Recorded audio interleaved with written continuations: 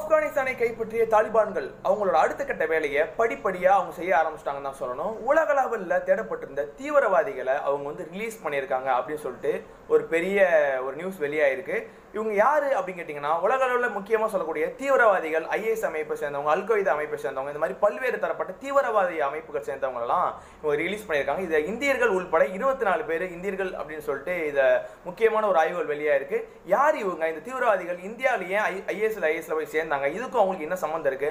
அப்படிங்கிற விஷயத்தை தான் இதில் டீட்டெயிலாக பார்க்க போகிறோம் வாங்க பார்க்கலாம். உலக நாடுகளுக்கு இவங்க தீவிரவாதியாக தெரிஞ்சிருந்தாலும் தாலிபானுங்களுக்கு இவங்க வந்து மிகவும் புனிதமான ஆட்கள் தான் சொல்லணும். ஏன் அப்படி சொல்கிறீங்க அப்படின்னு கேட்டிங்கன்னா வழக்கமாக வந்து ஜிகாத் போராளிகள் ஜிகாத் அப்படின்னு சொன்னாலே அவங்க நாட்டில் வந்து ரொம்பவே அவங்க புனிதமாக தான் கருதப்படுவாங்க. இந்த ஜிகாத் தீவிரவாதிகளை தான் அவங்க வந்து படிப்படியாக ஒரு ஒரு ஜெயிலில் இருக்கிறவங்கள ரிலீஸ் பண்ணி வந்துட்டு இருக்காங்க. புல் இ சர்க்கி பதம் பாக் அப்படின்னு சொல்லக்கூடிய ரெண்டு மிகப்பெரிய ஜெயிலில் இருக்கக்கூடிய உலகளாவில் தீவிரவாதிகள்னு சொல்லக்கூடிய முக்கியமான ஆட்களை தான் வந்து இதில் சிறையில் அடைச்சி வச்சிருந்தாங்க. இதில் இருபது வருஷத்துக்கு மேற்பட்ட இந்தியாவுக்கும் இதுக்கும் சம்பந்தப்பட்ட ஒரு தீவிரவாதி கூட அதில் அடைப்பட்டிருக்காருன்னு சொல்லணும். ஸோ அந்த அந்த ஜெயிலில் இருக்கக்கூடிய ஜிகாத் தீவிரவாதிகள் ஜிகாத் போராளிகள் எல்லாம் வந்து தாலிபான்கள் வந்து படிப்படியாக ஒரு ஒரு ஆட்களை வந்து ரிலீஸ் பண்ணிட்டு இருக்காங்க. நேற்று வந்து இந்தியர்கள் உள்பட இருபத்தி நாலு பேரை வந்து அவங்க ரிலீஸ் பண்ணியிருக்காங்கன்னு சொல்லிட்டு ஒரு ரிப்போர்ட் வெளி வந்திருக்கு சரி இதெல்லாம் ஓகே இந்தியர்கள் உள்பட இருபத்தி நாலு பேர் யாரு? இந்த இந்தியர்களுக்கும் அவங்களுக்கும் என்ன சம்மந்தம் இவங்க ஏன் வந்து ஆப்கானில் சிறையில் அடைச்சிருக்கான்னு கேட்டிங்கன்னா இந்தியர்களில் முக்கியமாக பார்த்தா கேரளாவை சேர்ந்த எட்டு பேர். அதாவது கேரளாவில் முக்கியமாக பார்த்தா எட்டு பெண்கள் வந்து இதில் வந்து முக்கியமாக இந்த டீமில் சேர்ந்திருக்காங்க.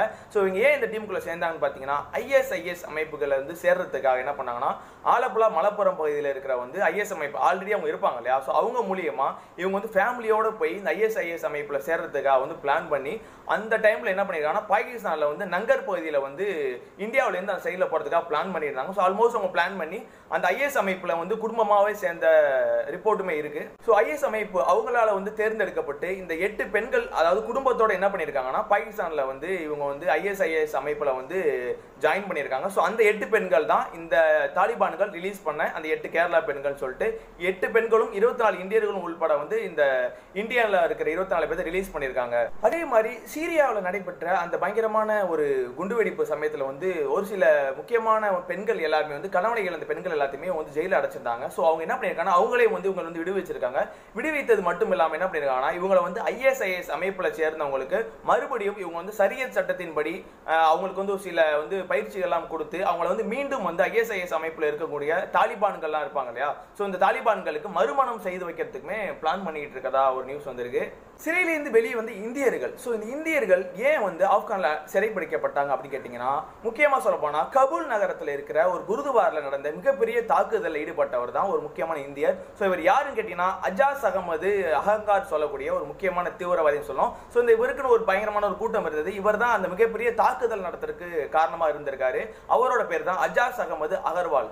கடந்த ஆண்டு மார்ச் மாதம் நடந்த அந்த கபூலில் இருக்கிற குருதுவாரில் வந்து பயங்கரமான ஒரு ஃபைட் நடந்தது. இந்த ஃபைட்டில் பார்த்தீங்கன்னா இருபத்தி ஏழுக்கும் மேற்பட்ட சீக்கியர்கள் எல்லாமே இதில் வந்து சம்பவ இடத்துலயே வந்து மரணம் அடைஞ்சாங்கன்னு சொல்லணும். இந்த மாதிரி சம்பவத்துக்கு முக்கியமாக காரணமாக இருந்தவர் தான் இந்த அஜாஸ் அகமது அகர்வால். இந்த அஜாஸ் அகமது அகர்வாலை பார்த்தீங்கன்னா இந்த ஒரு சம்பவத்துக்கு மட்டும் இல்லை பல்வேறு சம்பந்தப்பட்ட பல்வேறு தீவிரவாத பிரச்சனைகளுக்கு வந்து இந்தியாவில் வந்து இவர் வந்து ரொம்பவே தேடப்பட்டு இருந்த ஒரு ஆள் சொல்லணும். கிட்டத்தட்ட இருபது இருபத்தைந்து ஆண்டுகள் மேல அவர் எங்க இருக்காரு என்ன பண்றாரு யார் இந்த அஜாஸ் அகமது அகர்வால் அப்படிங்கிற எந்த விஷயமே தெரிய வெளியில வராம இருந்தது. ஒரு கட்டத்துக்கு மேலே இவர் வந்து ஆப்கானில் வந்து சிறைப்பிடிக்கப்பட்டார் அப்படின்னு தெரிஞ்சதுக்கு அப்புறம் இந்தியாவில் இருக்கிற புலனாய்வுத்துறை என்ன பண்ணாங்கன்னா பிளான் பண்ணி சரி போய் அங்க அங்க இருக்கிற ஆப்கான் அமைப்புகள்கிட்ட கேட்டுட்டு இவரை பத்தி நம்ம வந்து கேஸை வந்து ஸ்டார்ட் பண்ணலாம் அப்படின்னு சொல்லிட்டு பிளான் பண்ணியிருந்தாங்க. ஸோ இந்த கொரோனா பரவல் ரொம்பவே அதிகமாக இருந்த காலகட்டத்தினால வந்து இந்த அஜாஸ் அகமது அகர்வாலை வந்து இந்த புல இந்திய புலனாய்வுத்துறை வந்து டைரெக்டாக போய் பார்த்து அவங்கள வந்து கேஸை வந்து விசாரணை பண்ண முடியாமல் தள்ளி போயிருந்தது. இப்படி இதெல்லாம் ஒரு பக்கத்தில் இருந்தாலும் இந்த தாலிபான்கள் முக்கியமா சொல்லப்போனால் இந்த இந்தியர் உள்பட பல்வேறு தரப்பட்ட தீவிரவாதிகளையே அவங்க ரிலீஸ் பண்ணணும்?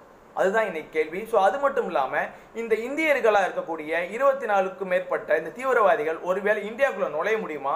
இல்லை நுழையிறதுக்கு ஏதாவது பாசிபிலிட்டிஸ் இருக்கான்னு கேட்டா கண்டிப்பாக இருக்குன்னு சொல்லணும்.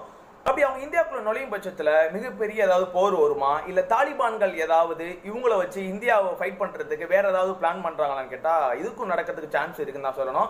ஸோ இந்த பயங்கரவாத அமைப்பு இந்தியாவுக்குள்ள வேற நாடுகள் மூலியமா வந்து இந்தியாவுக்குள்ள வந்து அவங்க என்ட்ரி கொடுக்கறதுக்கான அதிகபட்ச வாய்ப்புகள் இருக்குங்கிறதுனால வந்து தேசிய புலனாய்வுத்துறை என்ன பண்றாங்கன்னா அந்த செக்யூரிட்டி அதாவது அந்த எல்லையோர பகுதியிலலாம் பயங்கரமான செக்யூரிட்டியை வந்து இவங்க இன்டர்போலோட உதவியுடன் வந்து எல்லாத்தையுமே வந்து ஸ்ட்ராங்கா பண்ணிக்கிட்டு தான் இருக்காங்க.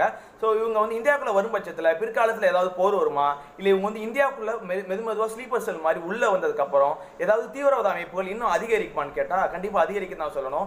ஆல்ரெடி நம்ம லாஸ்ட் வீடியோவில் போட்ட மாதிரி வந்து இந்த ஆப்கான் ஏரியாவை கைப்பற்றின தாலிபான்கள் வந்து உலக அளவில் பார்த்தா அது வந்து ஒரு தீவிரவாதிகளோட கூடாரம் தான் சொல்லணும். தீவிரவாதிகளோட சென்டர் பாயிண்ட் தான் சொல்லணும். ஸோ இவங்களோட அடுத்த கட்ட வேலைகள் என்னன்னு பார்த்தீங்கன்னா இந்த ஐஎஸ்ஐஎஸ் அமைப்பாக இருக்கட்டும் தாலிபான்கள் அமைப்பாக இருக்கட்டும் அல்கைது அமைப்பாக இருக்கட்டும் உலகத்தில் இருக்கிற அத்தனை நாடுகள்லையுமே வந்து இவங்க வந்து படிப்படியாக ஒரு ஒரு வீட்லையுமே ஒரு ஒரு ஏரியாவிலுமே இவங்களோட அமைப்பை வந்து டெவலப் பண்ணுவாங்க. ஸோ இனி வர காலத்தில் பார்த்தீங்கன்னா உலக நாடுகள் இப்படி அமைதியாக இருக்கிற பட்சத்தில் இன்னும் தீவிரவாதிகள் பெருக தான் செய்யும் தீவிரவாதம் அதிகரிக்க தான் செய்யும். ஸோ இதை கண்டிப்பாக வந்து ஐநா முன்னெடுத்து வந்து இதுக்கு மிகப்பெரிய ஒரு அவங்களுக்கு ஒரு ரிவெஞ்சு கொடுத்து தான் ஆகணும். இல்லைனா இந்த மாதிரி செயல்களில் அவங்க ஈடுபடாமல் இருக்கிறதுக்கு ஏன் எதுக்குனாவது உங்க கேள்வி கேட்கணும். ஸோ உலக நாடுகள் மறுபடியும் அமைதியாக இருக்கும் பட்சத்தில் தீவிரவாதம் பெருகத்தான் செய்யும். ஸோ ஏன் இந்த மாதிரி பண்ணுற எதுக்கு இந்த மாதிரி பண்ணுறேன்னு சொல்லிட்டு ஒரு கேள்வி எழுப்பாத பட்சத்தில் தாலிபான்களோட தீவிரவாதம் இன்னும் பெருகிட்டு தான் இருக்கும்னு நான் இந்த இது உங்கள் மூலியமாக சொல்லிக்கணும்னு நினைக்கிறேன். ஸோ கண்டிப்பாக இந்த மாதிரி விஷயத்துக்கு வந்து அவங்க வந்து ஏதாவது குரல் கொடுத்துதான் ஆகணும். இல்லைன்னா கண்டிப்பாக தீவிரவாதம் பெருகும்.